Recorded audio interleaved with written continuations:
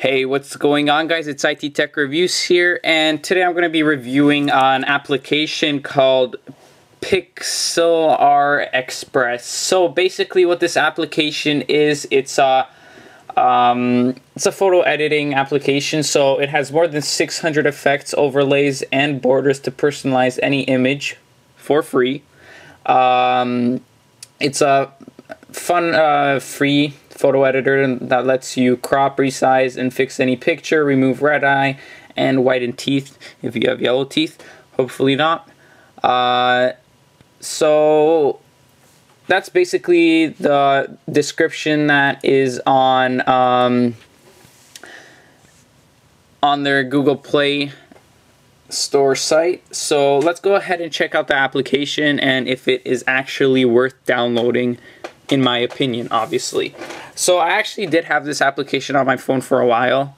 Uh, I did use it. Let's go ahead and look at the settings first. So um, we have a default save size here. Let's go ahead and look. So you have a small, medium, large, or none. Just go ahead and leave it at the default. Then we have the default save folder. So you could go ahead and change that if you want. Camera mode, uh, start app in camera mode we have that selected as no. Approved data collection, and this says in the box, if, if the box is checked, you have approved the collection of usage data. Okay, so uh, some of these effects actually, I was uh, a little notification popped up when I started out started up the application that some effects uh, don't work unless you have a connection to the internet. So I'm guessing that this uh, option is uh, has something to do with that. Uh, so you could get more apps from Pixlr here or visit their website, and you could read their legal and privacy information. Um, so let's go ahead and take a quick photo of um, the map of Africa over here. I'm actually planning to get like a new little map thing here. I kind of got tired and it's ripping and stuff. Um, I have like a little pretty big mouse pad coming in from uh, Deal Extreme, so maybe we'll use that. So we took the picture through the application. Uh, here at the bottom we have, um, if you want to keep the photo, retake it, I think, or approve it. So we're going to go ahead and approve the picture.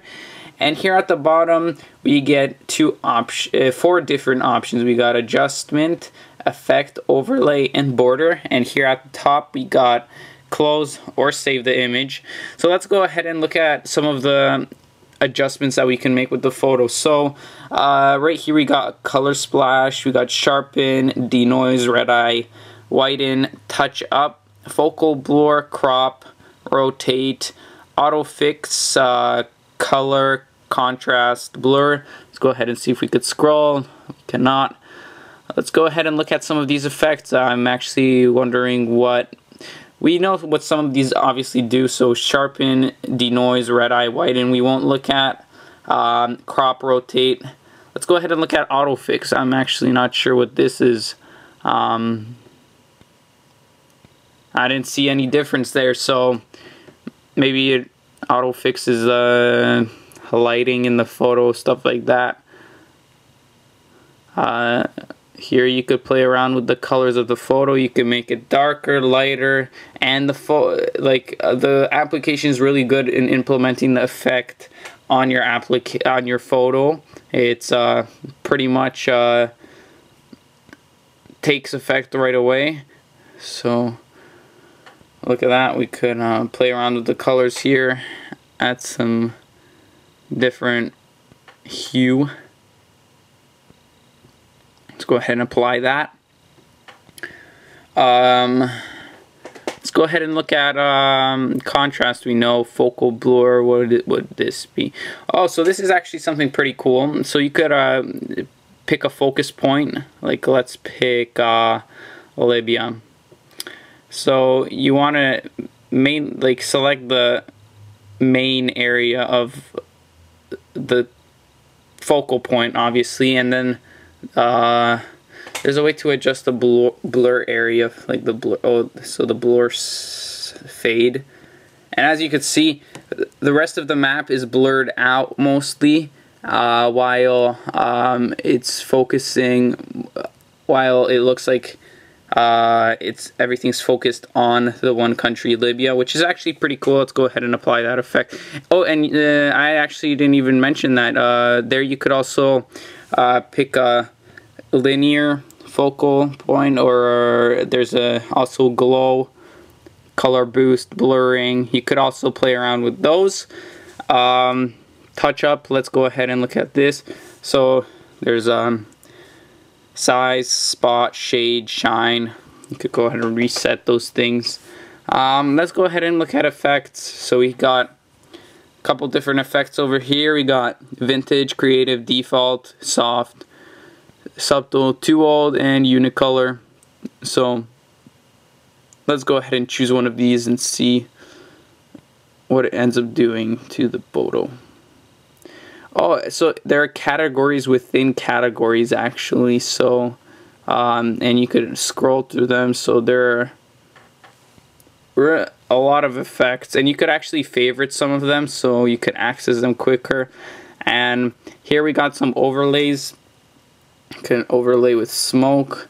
Um, space that was actually um, let's go ahead so some of these I think you actually have to uh, so smoke we didn't have to get. So as you can see, it looks like there's like smoke around the picture, which is pretty cool. Let's go ahead and apply that.